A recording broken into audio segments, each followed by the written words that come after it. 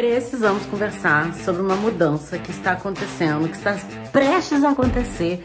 Daqui a 19 dias eu estou me mudando de volta pro Chile. Então eu tô numa missão aqui de decidir o que que vai, o que que fica e o que que eu vou vender, né? Então separar tudo que eu tenho em três categorias. O que que eu vou levar na mala, porque eu vou viajar só com bagagem de mão, né? E essa bagagem carry-on luggage, dessa de item pessoal, então eu posso levar duas no avião né? Que é uma pequenininha que vai na cabine e a outra que vai como bagagem pessoal. Então, assim, estou nesse momento de decidir como que eu vou fazer o meu quarto, com várias coisas que eu comprei durante a pandemia, inclusive, virar novamente uma bagagem de mão. Sim, estou gravando esse vídeo super caseirão mesmo, segurando o celular na mão e tremendo, sem muita estabilidade, assim como está a minha mente nesse momento. Pra poder compartilhar com vocês esse momento que eu tô vivendo de separar tudo que eu tenho em três categorias, né? E cara, é muito difícil fazer isso. Inclusive, vamos aqui pra vocês verem. Inclusive, o meu quarto inteiro está montado com coisas que eu comprei ao longo da pandemia: uma cama, uma televisão, um escritório. Tá tudo bagunçado justamente porque eu tô nesse processo de organização. Então, assim, help. Aqui já tá todo um caos porque eu estou separando exatamente o que vai, o que, que fica e já tirei aqui vários livros que ficavam nesse negocinho, né, nesse porta-livros. Já coloquei nessa mala que eu vou levar para casa da minha mãe amanhã e deixar uma boa parte de coisas lá. Nessa bolsa já separei muita coisa para vender, inclusive esse pijama muito fofo de unicórnio que eu comprei no Chile, várias coisas. Acessório de GoPro, roupa, tudo eu vou vender, vou desfazer. E o restante só Deus sabe. E agora com a mágica da internet você vai piscar e eu já vou estar na casa da minha mãe. Vou tentar gravar a reação dela se ela permitir, porque ela é bem vergonhosa quem sabe eu não consigo até tirar umas palavras dela aí para poder mostrar a reação dela conforme eu vou mostrando as coisas que eu decidi deixar ali com ela enquanto eu vou pro Chile. Sem data para voltar, pequeno detalhe que eu esqueci de mencionar no começo desse vídeo. Quem sabe eu não consigo fazer ela até conversar e contar um pouco aí para vocês, compartilhar o que, que ela pensa sobre o meu estilo de vida. Então agora a mágica acontece para você agora, para mim é amanhã. Já é o dia seguinte, eu já estou prontíssima, hoje mais arrumadinha, para poder levar as coisas na casa da minha mãe. Eu vou mostrar um pouco das coisas, vou chamar um carro agora, são 4h42 da tarde, porque não tem como eu levar tudo. A casa da minha mãe é pertinho, mas ir arrastando mala e tudo mais não vai dar certo. Então vou chamar um carro.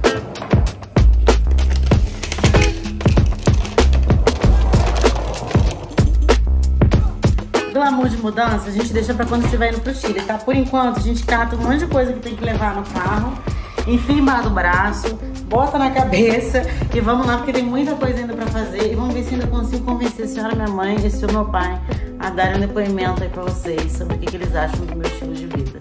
Essa é uma missão um pouco difícil pela parte da minha mãe, mas eu vou tentar rodar o meu melhor. Torçam aí pra dona Eliane topar falar.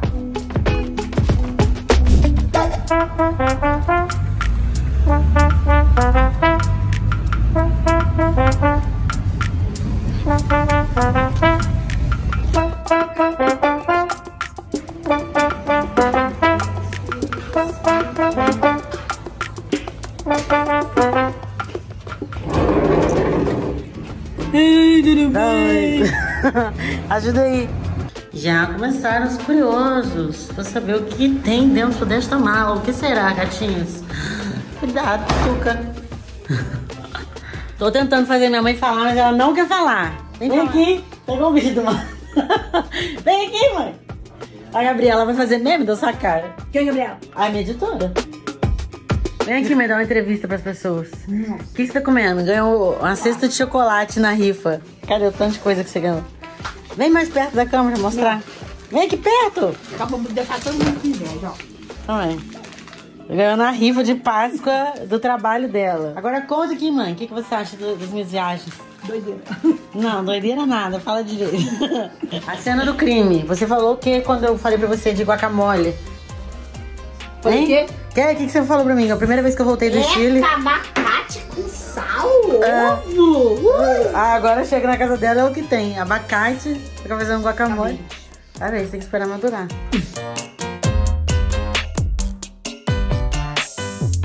Agora eu trouxe vocês pra conhecer o meu antigo quarto. Eu tô aqui agora na casa do meu pai. Na verdade, meu pai e minha mãe são vizinhos, é uma casa do lado da outra, pra poder mostrar o que, que eu decidi deixar aqui por enquanto. Eu ainda vou fazer um frete pra cá, né? Porque eu tô namorando no quarto.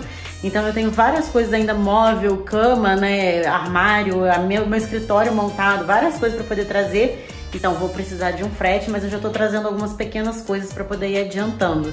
Olha a mini Gabi ali atrás. 15 anos! Como tem muito tempo que eu tô fora, que virou mais ou menos o quartinho da bagunça, né? Então a gente vai acumulando as coisas aqui, porque eu não uso. Aí tem algumas pelúcias antigas, várias coisas, tudo meu. Ai, meu bonequinho, ele era muito engraçado, vou aproveitar pra contar a história. Ele apertava o bracinho e chorava, né? É o bebê chorinho, bebê, alguma coisa assim de choro. Aí eu convenci minha mãe pra gente fazer um buraquinho no pipi dele, e aí ele começou a fazer xixi também, quando apertava o braço. Ai, meu Deus, que coisas, né? Enfim, muitas coisas. Olha, minha velhinha de quando eu comemorei meu aniversário no Atacama. Tá aqui até hoje, que a gente comprou lá. Fez um aniversáriozinho pra mim. Muitas coisas. Essa mesinha de quando eu era criança ainda, ela é bem pequenininha. É, e a mala que eu trouxe, né? Eu trouxe poucas coisas. Eu trouxe alguns livros, por enquanto. Ah, e tem esse caderno também, que foi quando eu peguei carona de Santiago até Buenos Aires, né? Com caminhoneiros. E aí a gente ia escrevendo o que precisava para poder pegar carona. Essa eu não fiz sozinho, fiz com uma amiga minha. E, enfim, muitas lembranças, muitos livros, uns cadernos de poesia, livro da faculdade também, Bíblia, coisas que eu nunca li, tipo esse livro eu tenho, mas eu nunca li. Então, tudo isso que tá aqui é o que eu vou deixar aqui na casa dos meus pais para poder usar quando eu voltar. Vim aqui na casa dos meus pais é sempre muito nostálgico, né? Principalmente nessa garagem aqui onde eu meu irmão a gente brincou a infância inteira praticamente. Aqui em cima tinha um balanço pendurado que a gente brincava muito. Hoje em dia fica a bicicleta do meu pai. Meu pai trabalha como verdureiro, né? Então ele vai andando pela cidade vendendo verduras na bike. E um dos meus sonhos é um dia poder conseguir oferecer uma condição melhor de trabalho pro meu pai, né? Porque ele trabalha nessa bicicleta que tá aqui atrás, então ter um carro para ele com uma carroceria atrás, alguma coisa do tipo. E se Deus quiser, vou conseguir. Torçam por mim. Acho que passaram-se aí uns três dias desde que eu comecei a gravar esse vídeo, esse vlog aqui, pra poder mostrar esse processo da mudança pro Chile. E decidi abrir a câmera aqui agora porque eu estou organizando algumas coisas, separando ali na mala já. Já tem um caso de roupa que eu tirei dessa sapateira aqui atrás pra poder levar pra casa dos meus pais. Igual eu falei, eu vou ficar esse tempo ali, né, uns 10 dias na casa deles antes de, de ir pro Chile de vez.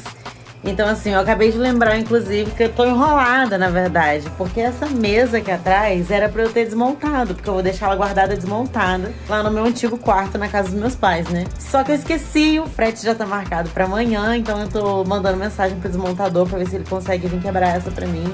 Então, assim, fortes emoções acontecendo. Eu não consigo decidir o que, que eu vou levar, o que, que eu vou deixar, porque essa mala que tá aqui Inclusive, é a mala que eu vou levar para poder me mudar para lá, então tem que caber tudo ali dentro, gente. Não cabe ali, eu só botei praticamente os casacos que eu tenho e algumas outras blusas menorzinhas, né? Tipo camiseta, regata, não sei o quê. E já, já, já tá full. Rindo de nervoso. As pessoas devem olhar esse vlog e falar assim, gente, essa garota é maluca. Se você chegou aqui de paraquedas, você não tá entendendo nada, né? Porque eu já apareci com 10 caras diferentes, com 10 roupas diferentes, já troquei a maquiagem, já passaram vários dias. Hoje, que dia que é hoje? Não sei nem que dia que é hoje. Lembrei, primeiro de maio.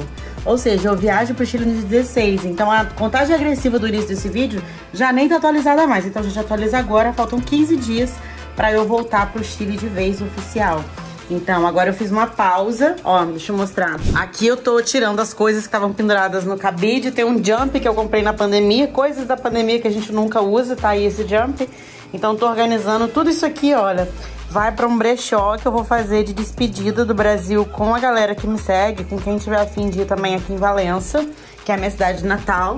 Essa sou eu, o dilema da mesa, que ainda segue aqui, né, com essa bagunça toda. E aqui algumas coisas acender essa luz. Aqui algumas coisas que eu já consegui organizar. Então, lógico que eu não vou levar isso tudo pro Chile, tá, gente? Isso aqui é a mudança pra casa dos meus pais. Minha mochila que eu tanto amo, com várias bandeirinhas.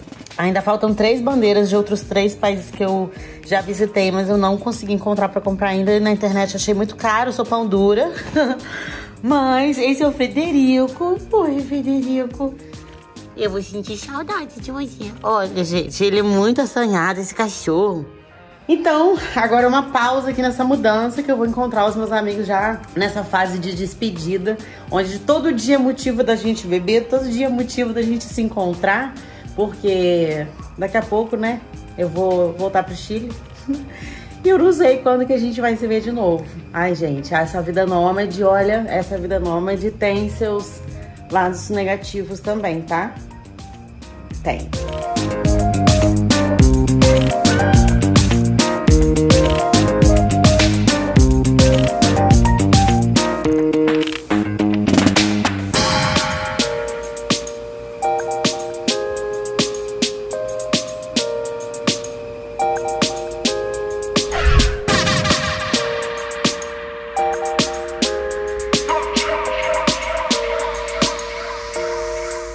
Plantinhas já estão prontinhas aqui para poder ir comigo.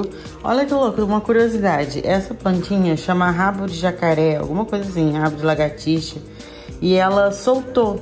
Aqui, ó, tá vendo? Ela tá solta. Mas desde que ela tá solta, ela não para de crescer. Ela tava plantada a vida inteira e não crescia. Agora que tá solta, fluiu. Explicações, por favor.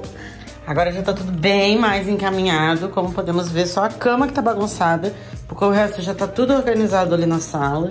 E agora a mesa já tá livre pro montador vir desmontar. Então, olha... Ai, vou sentir saudade do meu escritório.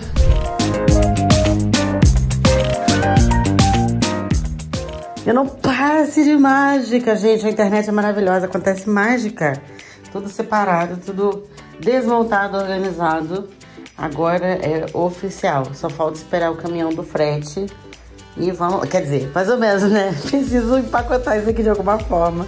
Hoje que eu já tô de mudança, que vocês já viram que eu consegui desmontar o móvel, consegui organizar as coisas, tô tendo que trabalhar aqui na sala, ó. Na mesa da cozinha, com tudo bagunçado aqui atrás, porque o meu frete só chega duas horas da tarde, agora são 10 e meia, então eu vou ter que trabalhar sentada aqui, pelo menos eu tô na cadeira super confortável, mesmo que eu esteja na mesa de cozinha. E aí, falta pouco. Quantas mágicas você já viu nesse vídeo? Só nesse vlog já aconteceram várias. Acabei de descarregar tudo que eu tinha. Tudo que eu tenho ainda, né? Ainda não, não é que tinha. E olha a vistinha de, de meu, do meu antigo quarto. Aqui na casa dos meus pais. Valencinha. Pra quem não sabe, Valência é um vale. Por isso que tem várias montanhas ao redor. Porque isso é um vale. Agora é eu que lute para organizar tudo isso aqui. A vida de empreendedora não para. Olha que horas são, até 4 horas da tarde. Eu tenho esse tanto de reunião ainda hoje. Ó, alinhamento Chile, ou seja, vem muita novidade esse ano em relação aos passeios no Chile, principalmente. Alinhamento com a Nike é um lançamento que a gente está fazendo, então se você que está assistindo esse vídeo não sabe falar inglês, é uma oportunidade também, tá? Naya é uma professora excepcional. E reunião geral, que é a reunião com a minha equipe. E o quarto desse jeito, faltando agora dois minutos, cadê? Dois minutos faltando para a reunião. e o que, que eu faço? Será que eu boto a câmera fechada para essa reunião que eu tô destruída? Sabe uma coisa que eu amo? Todos os aplicativos notificam as reuniões que a gente tem que fazer. A gente usa o Slack para comunicação da equipe. Não sei se todos vocês conhecem o Slack. Sejam bem-vindos, conheçam agora a interface. A gente consegue criar vários grupos aqui, isso tudo na versão gratuita, tá? Eu não uso a versão paga. Então a gente vai criando os grupos que a gente precisa para se comunicar e tem uns bots também, né? Então eu criei esse bot do Google Calendário, aí ele vai avisando quanto tempo falta pro evento e enfim, aqui a gente se comunica. Agora a gente tá no momento, a última reunião do dia, olha a hora, gente, 7h52 da noite de uma segunda-feira. Estamos aqui com essa equipe maravilhosa. Dá oi, gente! Todo mundo ali, ó, preparando tudo que a gente vai colocar para rodar aí esse ano no Chile. Muita coisa inédita. Que depois que a gente fizer não vai ser mais inédita porque todo mundo vai copiar. Mas nós que vamos lançar isso aí. Ai, finalmente esse dia chegou ao fim, que é o dia da mudança. Tive uma reunião atrás da outra. Deixa eu ver que horas são agora. Agora são 11h30 da noite. E eu tô indo tomar meu banho finalmente pra poder limpar essa cara que eu tô destruída, acabada. E amanhã ainda tem muita coisa pra fazer. Ó, não arrumei tanta coisa assim, o celular tá carregando, então não vou muito longe. Mas ó, a cama tá bagunçada, a toalha tá aqui que eu tô indo tomar banho. Mas já organizei mais ou menos, alguns livros ali, alguns bonecos e ursinhos de pelúcia que estão aqui desde a época que eu morava ainda por aqui. É, tá bagunçado ainda, não consegui arrumar totalmente. Isso aqui, gente, tá tenso, né? É porque chove, molha tudo aqui dentro. Aí fica escuro desse jeito.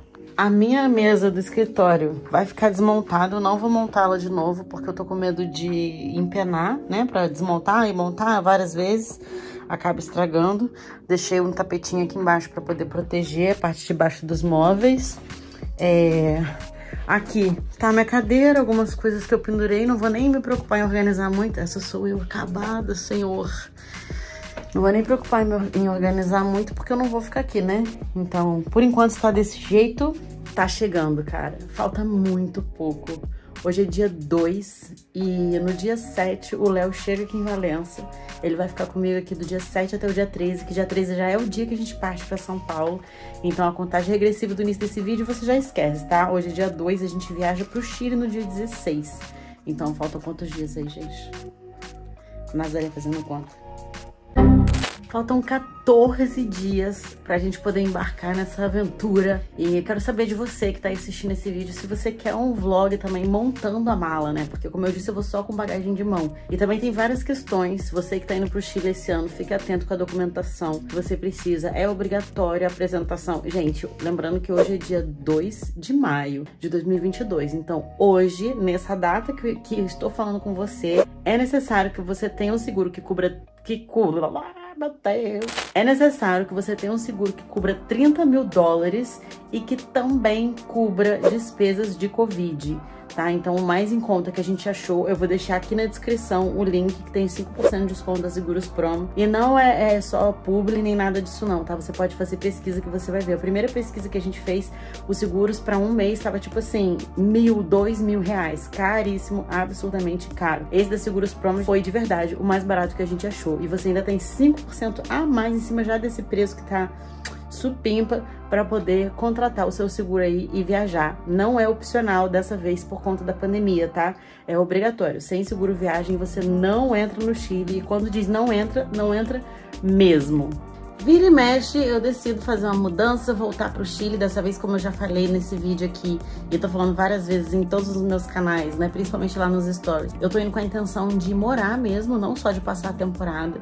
Então vamos ver o que acontece, tudo pode acontecer. Eu sou uma pessoa que na hora que me dá um negócio assim de vou pra tal lugar, eu simplesmente pego, me organizo, compro a passagem e vou. Então pode ser que eu fique, pode ser que eu não fique, a minha intenção é ficar. Tô com o nariz cheio de poeira, de tanta coisa, tanto poeira que eu levantei hoje nessa mudança, estou esgotada, como podem ver, com o cabelo todo pronto. Não que isso seja uma novidade, né? Mas me conta o que você achou desse vídeo, se você quer que eu traga vídeos, mais vídeos nesse estilo. Se você quer saber sobre cotação atual, passeios, como é que tá agora, né, com essa situação da pandemia, imigração, que documento que precisa, seguro viagem, se que, que vão me pedir na imigração, se vão pedir alguma coisa, mala, então me conta se você quer que eu grave vídeo montando a mala, porque lembrando que eu vou viajar só com a bagagem de mão, a expectativa por enquanto é essa. Se eu ver que não dá, aí talvez eu compre uma bagagem para poder despachar, mas inicialmente eu só comprei mesmo bagagem de mão, tá? Então aproveita e me segue no Instagram que eu posto tudo em tempo real.